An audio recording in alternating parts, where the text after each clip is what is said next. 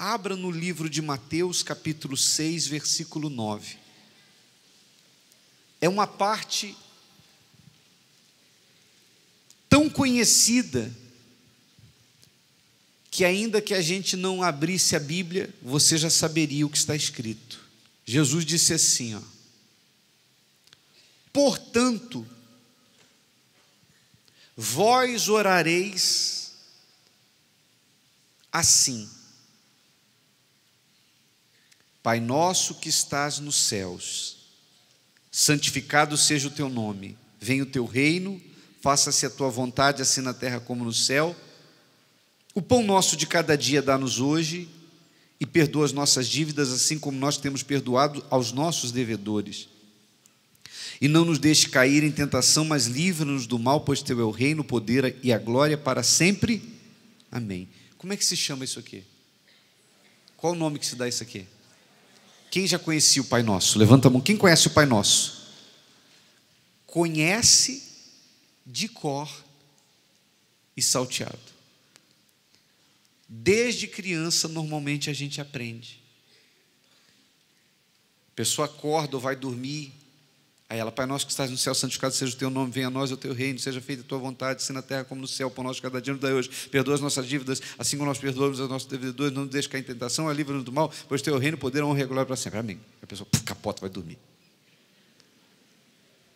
Sim ou não? Mas por outro lado, tem gente que diz assim: quanto mais eu rezo, mais a assombração aparece. Ou seja, ela quer dizer que quanto mais ela reza, pior fica a vida. Por quê? Por quê? Por que isso aqui não funciona para a maioria? Porque a maioria reza o Pai Nosso, mas não entende, ao mesmo tempo que ele é uma oração, ele também traz ensinamentos relacionados à nossa vida com Deus, à nossa conduta. E se você não medita no que você está falando, você, na verdade, cai até em contradição. Ao invés de fazer aquela reza corrida que eu fiz agora há pouco, vamos vir meditando no Pai Nosso e você vai entender qual é o problema da maioria das pessoas. Vamos lá. Portanto, vós orareis assim: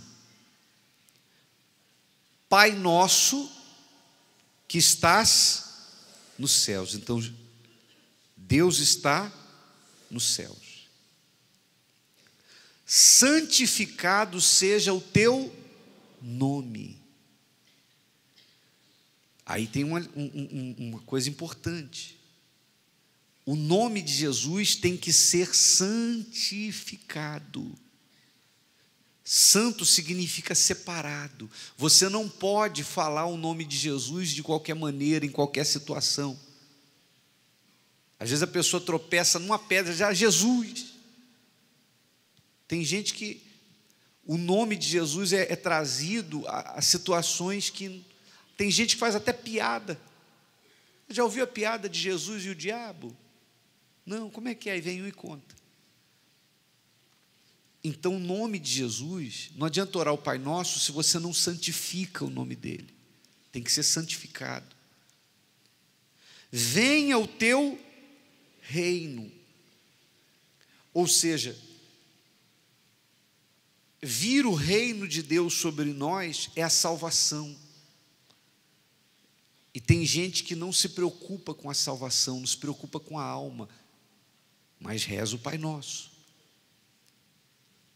Faça-se a tua vontade, assim na terra como no céu. Isso aqui é o que está escrito, como as pessoas rezam. Faça-se a tua vontade, assim na terra como no céu. Mas no dia a dia, na hora da prática, a pessoa na prática, ela diz assim: faça-se a minha vontade. Porque o que dá vontade, a pessoa faz. ela faz o que dá na telha sem se importar com a vontade de Deus. A maioria das pessoas aí fora que reza o Pai Nosso, diante de Deus diz isso: faça-se a tua vontade. Mas na prática, no dia a dia, ela diz: não, a minha vontade primeiro. Eu senti vontade de, de, mentir, então ela mente, ela sente vontade de trair, ela trai, ela sente vontade de enganar, ela engana, ela faz o que dá vontade. Então, essa pessoa depois dobra os joelhos e vai rezar o Pai Nosso, na verdade, ela está sendo hipócrita, porque ela está dizendo para Deus, faça-se a tua, mas na prática ela faz a dela. Por isso que o Pai Nosso para ela não é verdadeiro, não funciona. Hum? O pão nosso de cada dia dá-nos hoje. O que, que significa isso? Qual a lição que a gente tira com isso?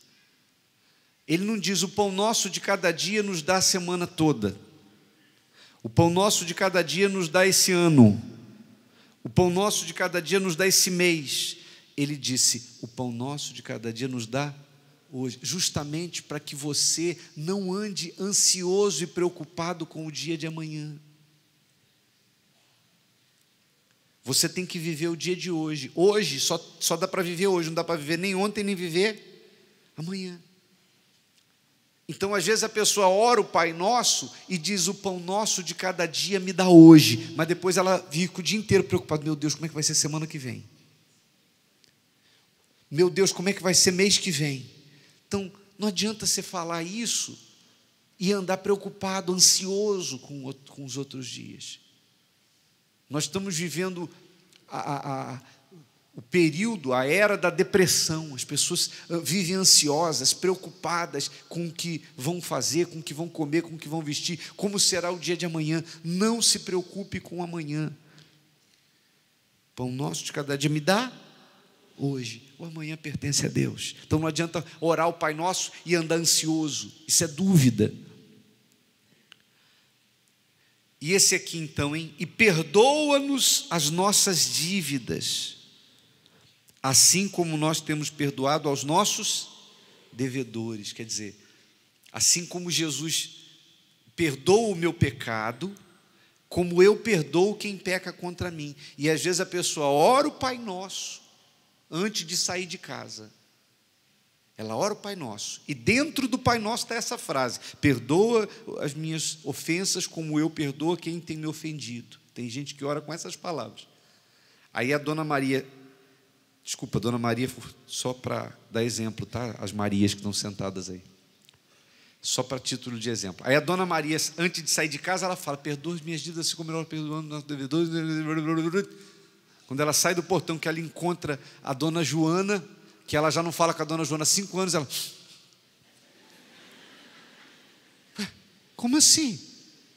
Perdoa minhas dívidas como eu perdoo meus devedores. Tem gente que ora dentro do quarto de casa, o Pai Nosso, fala isso, quando chega na sala não conversa com o próprio familiar. Tem gente que dentro de casa não conversa com o outro. Aí depois diz: por que, que Deus não me ouve? Por que, que Deus não me honra? Não tem nada a ver com o que você está falando para Deus. Você não está meditando no que você está falando, você não perdoa e quer perdão. Usa a cabeça, meu Deus do céu. Não é só rezar, não, isso aqui traz lições profundas. E não nos deixes cair em. Tem gente que ela mesma procura a tentação.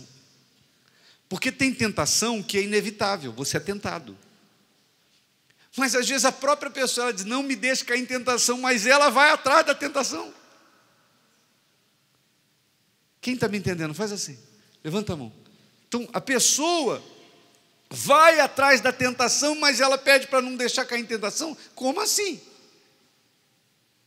Mas livra-nos do mal, pois teu é o reino, o poder e a glória para sempre. Então, pessoal, o que falta para as pessoas é usar a cabeça. Então, Pai Nosso é um modelo de oração do servo. Só quem serve a Deus de verdade pode falar com propriedade essas palavras. Se você ora isso, mas faz tudo o contrário, então você não passará aos olhos de Deus de um religioso, uma pessoa religiosa, porque você não tem moral para falar aquelas coisas. Uma vez que a prática é contrária ao que a boca está dizendo. Eu não quero falar muito não. Eu creio que eu creio que todo mundo que está aqui, você pode estar pela milésima vez ou pela primeira vez, todo mundo conhece o Pai Nosso, mas pouca gente medita no que está dizendo, no que está falando para Deus. Você quer fazer esse, essa oração funcionar na sua vida? Então, se há alguma coisa errada, conserte. Se você tem uma mágoa, perdoe. Se você está ansioso pelo futuro, viva o dia de hoje. O pão nosso de cada dia nos dai hoje. Lance aqui no altar a tua ansiedade e confie em Deus. A palavra de Deus te sustentará, como a gente ensinou ainda há pouco, a fazer prova com ela.